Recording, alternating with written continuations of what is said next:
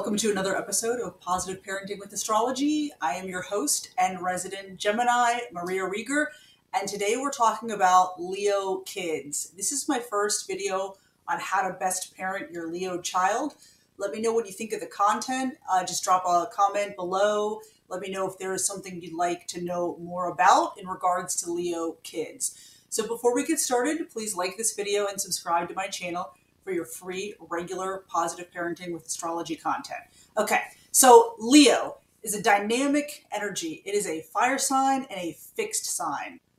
Leo is ruled by the sun, so when the chart holder has their sun in the sign of Leo, it's very comfortable energy. So, being a fire sign, it's a masculine energy sign, which means it's more of a doing, active energy. It's a very driven energy. Leo people, like the other fire signs, they like to attack life. They're enthusiastic about life and, and having all kinds of life experiences. Like the other fire signs, it is more of an ego oriented energy. That is not necessarily a bad thing. Sometimes that means that it takes a little more of an effort to put for the Leo person to put themselves in the shoes of the other person. It does not mean that it's not possible. It's just more of an ego oriented energy. So, where you have an energy like Libra, which is an air sign, very detached, it's difficult for the chart for the Libra person to like think about their own needs and go after their own needs. They're always identifying with what the other person wants. Leo's very different from that. So the fire energy makes it um, makes the chart holder more able to advocate for themselves. Which, if you watch this channel regularly, you'll know that teaching our kids to self advocate is one of my big topics. So that's all good stuff. So Leo is in many ways a, like a, almost a personification of masculine energy. It is the expression of I will, the purest expression of the life force of the sun. Now it's a fixed energy, and like the sun, you know, it's always there. So the sun, obviously, we almost like take the sun for granted, right? Because it's always there. It's a given that it's always there. So Leo kind of encapsulates that being a fixed fire energy. Leo people do tend to be kind of dominant, just like the sun, because the sun dominates our life force on Earth. Leo people tend to dominate. Again, this is not necessarily a bad thing, especially when you're talking about people self advocating, um, going after their own needs, protecting their own needs, and things like that. But when you have a Leo person around, you will know, like they assert their presence, right, on the stage of life it is an energy of I am here and I am present. It's an energy that likes to be noticed. Leo kids, like Leo adults, they love praise and adoration. We're going to talk about in a little bit about how best to praise your Leo child so you're fulfilling their needs. Um, so a Leo adult likes to have a partner who gives them praise and adoration. Again, not necessarily a bad thing. We all like that. They like to be valued. They like to be noticed and seen. And these are all things that, that humans in general want, right? Want to be noticed. We want to felt seen. We want to felt heard. So Leo very much encompasses all of that. Interestingly, when Leo kids become adolescents and then teens, they're not always super comfortable with being noticed or being set apart because kind of part of childhood development is when kids become adolescents and then teens, they're concerned with fitting in. They don't want to look too different. They don't want to seem too isolated from society and their peers, generally speaking, right? So remember that, that if your Leo child kind of shies away from being singled out or the praise and adoration that you like to give them, just remember that that is a normal part of kind of the adolescent experience. Now, in astrology, often we talk about evolved versus unevolved energy, and this applies to any zodiac energy. So, when you're talking about evolved Leo energy, you're talking about the highest, purest, like most perfect expression of the energy. And when you think about the sun, right, the sun radiates its life giving rays to our planet, and in its purest, like, and most perfect expression of Leo energy, that's what Leo energy does. It kind of illuminates and radiates everyone, and it's this life giving force. Think about when you go outside and you feel the sun's rays on your face after about 10 or 20 minutes, your mood starts to be elevated. Your mood starts to get a boost, right? That is the most evolved expression of Leo energy. It's this life giving, illuminating energy. and it feels really good. To have attention from a Leo person feels really good. So, a Leo person who is not as evolved, they're not always self aware, right? They need the praise and adoration, but it almost becomes like a quid pro quo situation. Like, I do this for you, and in return, you do this for me. Or they may do nice things for other people, give them gifts and things like that with the intent of receiving back, right? And that's not a healthy dynamic. You express love and give gifts because you enjoy doing it to make other people happy, not to get something back.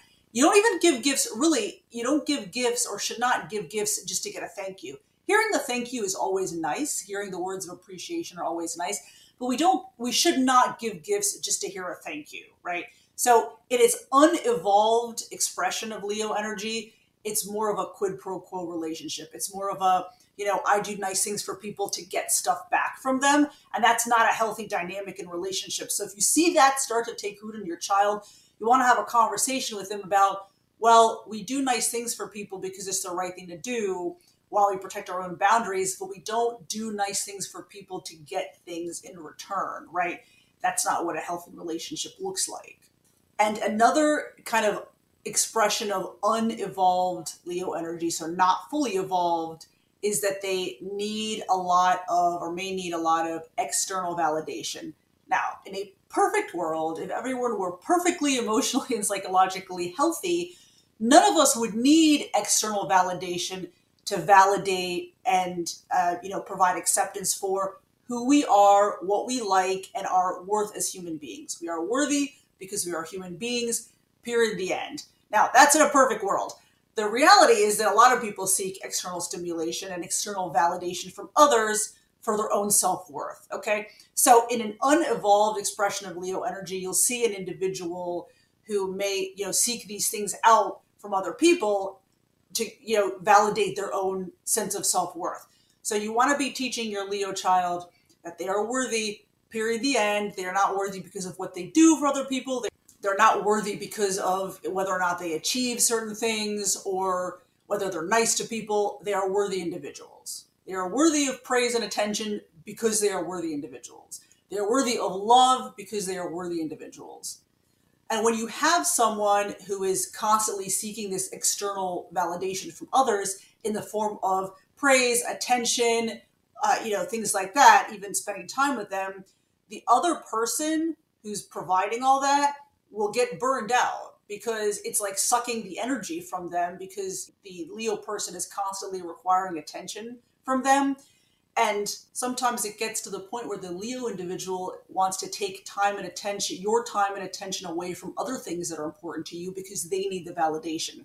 Again, we're talking about like an extreme, the extremely negative point of view of this energy which in any zodiac energy, you'll have an extreme negative and an extreme positive, right? You'll have people who are evolved and self aware, and people who are not evolved and not self aware. A lot, lot of the time, it's because they've suffered some childhood trauma, or that's how they've been taught by the adults in their life when they were kids. Now, because of the fixed nature of Leo energy, it's an energy that tends to be a little less physically active than Aries and Sagittarian uh, energy it's not to say that Leo people or Leo kids don't need any physical outlet for the energy. They do. But in my experience, that need for physical energy and that physical outlet is a little bit diminished with Leo. I think it's because of the fixed nature of the sign. Now, Leo, like other fire signs, does have a temper. It tends to be a little more controlled than with Aries and Sagittarian people. I think probably because the fixed nature of the sign and because Leo is is ultimately a loving, enthusiastic sign. It really doesn't like to fight too much. You know, Aries and Sag people, it's almost like fighting sometimes is second nature to them. Physical aggression can be such a second nature to them, especially with the boys. But with Leo, you'll see that a little bit less. Again, it always depends on kind of the other energy going on uh, in the birth in the birth chart. But generally, generally, although Leo does have a temper, it's not as pronounced as the other fire signs. Leo kids are extremely affectionate, right? Leo is associated with the fifth house, which is the house of fun, amusements, you know, things we do for fun, and is also the house related to children. So Leo kids love to have a good time, they're enthusiastic about life, and they love it when the parents kind of join in the fun activities with them. So, a great way to bond and connect with your Leo child is just to do something fun, you know, just for the sake of it, not any, not something that has to get done or something that has some productive goal, just something fun. Again, Leo is an outgoing energy. It's also an impatient energy, like the other fire signs. So you can expect your Leo child to be impatient at times. This is consistent with the energy of the sign. So Stephen Arroyo is a well-known relationship astrologer, and this is how he describes the Leo energy. It is a warming, radiating, energizing life principle that can manifest as enthusiasm, faith, encouragement, and the drive to express self. That is a wonderful description of Leo. Again, like the sun, it asserts itself, right, on the world stage. It is enthusiastic about life. It's got this, like, just this energy that just wants to enjoy life, this life giving, warming, radiating energy, right? That's generally very positive and enthusiastic. Every Leo adult and child that I know is creative or has some talent in the creative arts. And this has to do with self expression.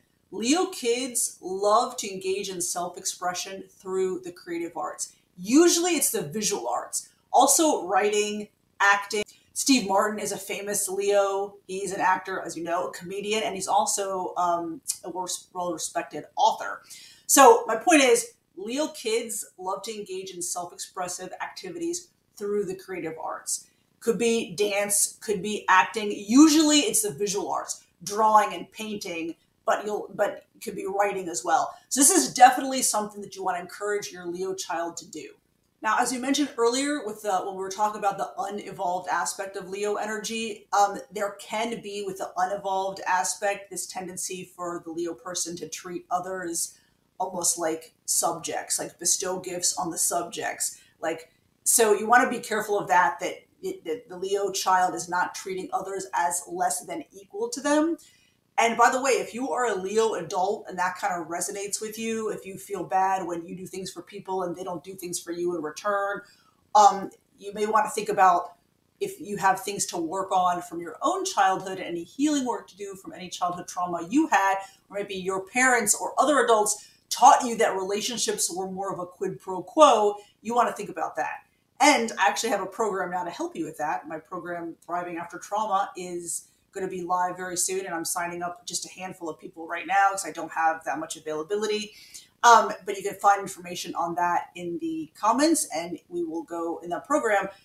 I will show you step by step how to heal from your childhood trauma, how to protect your own boundaries, how to have more, you know, healthier relationships, how to just be happier, how to not live based on the whims of other people, all issues that I've had to overcome myself. So if you have any questions about that, you can email me or comment below. Now, Leo is at its core an extroverted energy. You can have a Leo person who tests as an introvert. I've met some. It's pretty rare. It isn't like the other fire signs. It is an energy that usually has an entourage about them. They like to be around people, which is normal. It's represented by the sun, right? It wouldn't make sense if Leo was more of an isolating energy at its core. So they like to have people around them. They like to be social.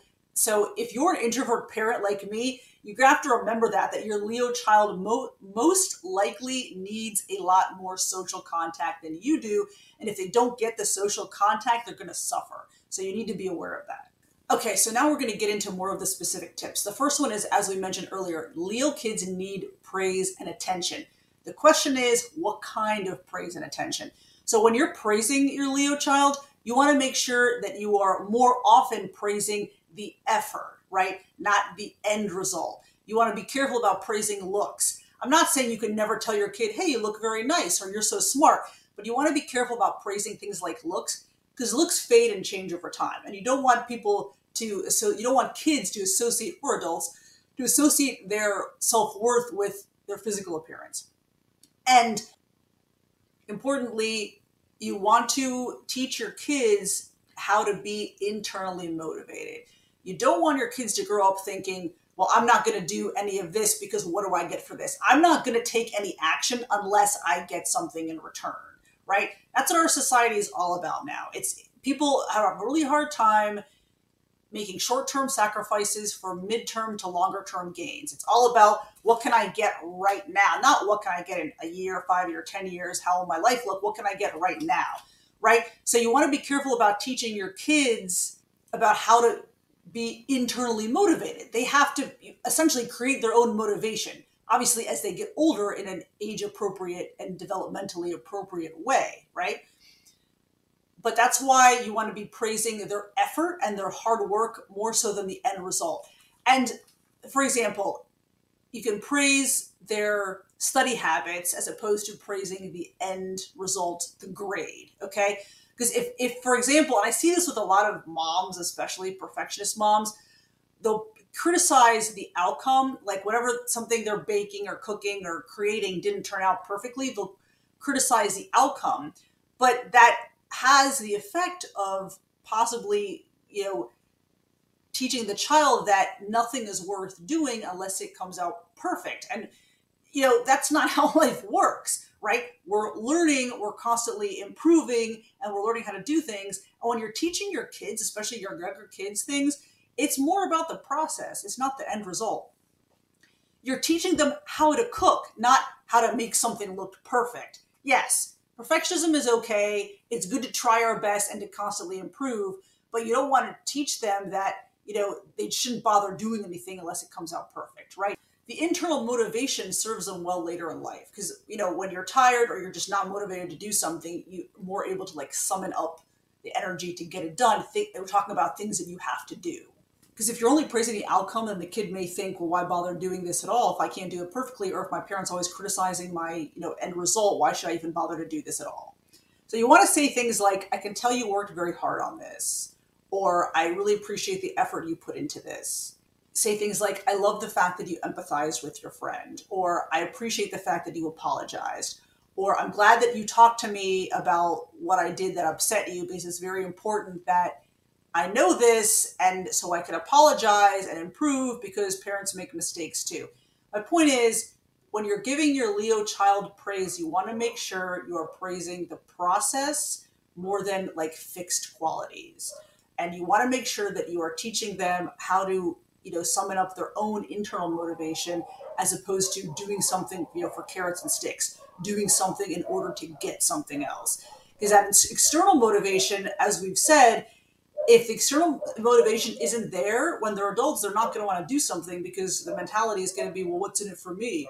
I'm not going to do this unless there's something in it for me. But what's in it for them may just be some fulfilling experience, or this may be a case of making a short term sacrifice for a longer term gain.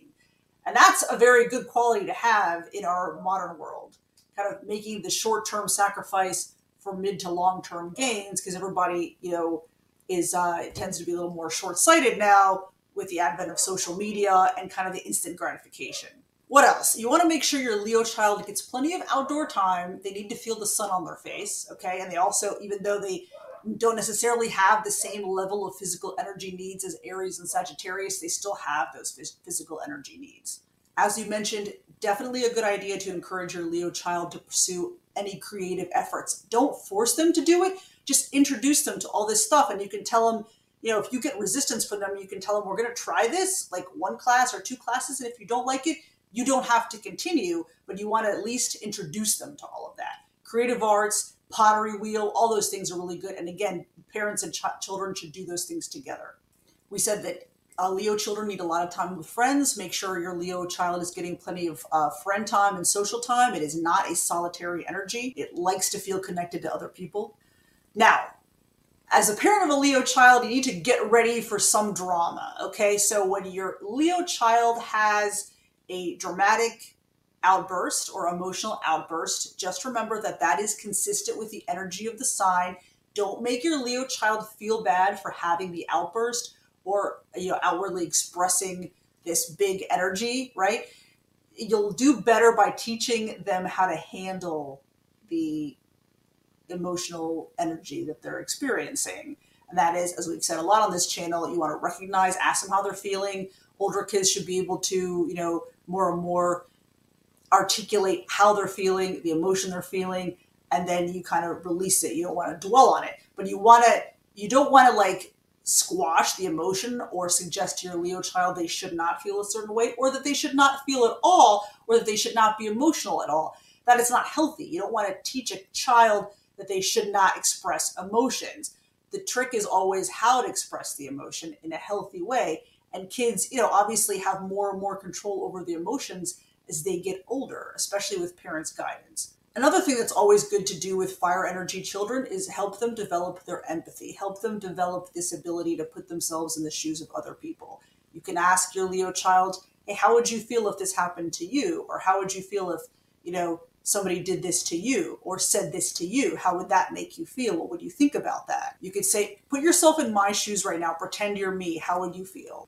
And of course, one of the best ways to teach empathy to a child is to empathize with the child and comfort the child. I'm sorry this happened. I completely understand why you're upset. You totally have the right to feel that way. Is there anything I can do for you? Those are all expressions of empathy that you empathize with the child. Very important with Leo kids, you want to be teaching selflessness. Relationships are not I do for you, so you do for me. They're not quid pro quo, right? A parent's love should never be conditional on what the child does or how the child performs in school, or even if the child is nice to their siblings or their parents the parent's love for the child is unconditional. You love the child no matter what, whatever they do, period, the end. That is what you want to be expressing to your Leo child so they learn what unconditional love is. And then when they're older, they have healthy relationships. Another thing that's good to know is you want to teach your Leo child as much as possible not to take things personally. Fire energy can be very sensitive. It is an energy that kind of has difficulty sometimes with with perceived rejection, even if the other person involved in the interaction isn't rejecting the person, the the Leo person can perceive that they're being rejected. It's a sensitive energy. So you want to, you know, teach your Leo child that.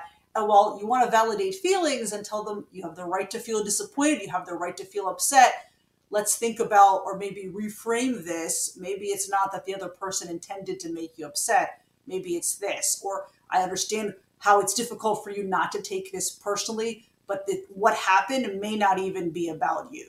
Okay. Because you don't want your child to just internalize everything, take it personally. That's just a very heavy burden to bear.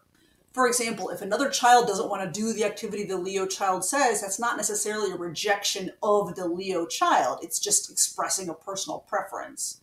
Or when the parent tells the Leo child, no, we cannot do this right now, it's not a rejection of the child it's just some you know it could be something to do with what the parent is doing at that moment they just can't drop everything right it's not that you don't want to spend time with the child or don't want to talk to the child you're just having a hard time right now but let's do that later so with older children you can tell them I'm not rejecting you, or I'm not saying I don't want to do this. I just can't do this right now, or I will do this in a little bit. Okay. Saying things like that works to preserve the relationship. You don't want to, like, you don't want your child to feel rejected by you.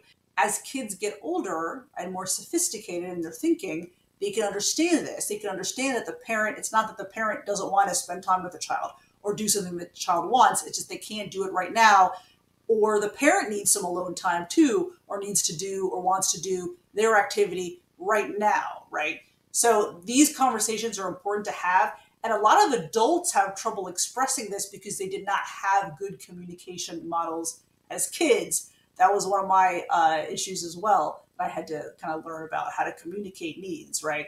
So that's what I have on Leo Kids today. Again, let me know in the comments if this was helpful, if you have any more questions or concerns or observations about this video or anything else you would like to know, please drop a comment below. Thank you very much, and we'll be back soon.